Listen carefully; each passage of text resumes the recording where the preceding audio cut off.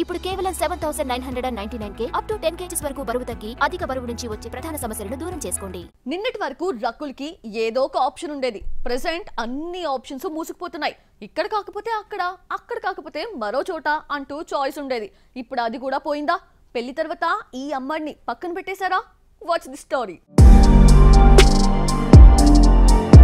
తక్కువ టైంలో స్టార్స్ అందరినీ చుట్టేసిన రకుల్ను ఆ తర్వాత ఎవ్వరూ పట్టించుకోలేదు. ఇదే టైంలో హిందీలో దేదే ప్యార్ దే హిట్ కావడంతో బాలీవుడ్లో ఆఫర్స్ వెల్లువెత్తాయి. ఇలా మూడేళ్ళు వరుస ఆఫర్స్తో గడిపేసిన రకుల్కు అక్కడ కూడా చుక్కెదురైంది.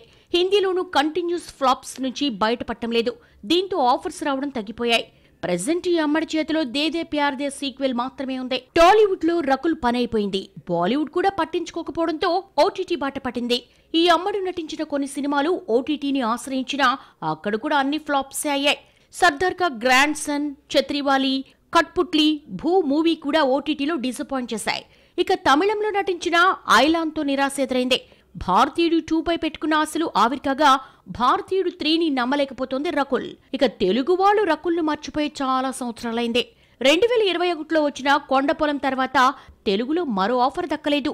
పెళ్ళి తర్వాత యాక్టింగ్కు ఫుల్ స్టాప్ పెట్టానని చెప్పిన రకుల్కు కొత్త ఆఫర్స్ ఒకటి లేదు. పెళ్ళై ఆరు నెలలైనా మరో మూవీ సైన్ చేయలేదు.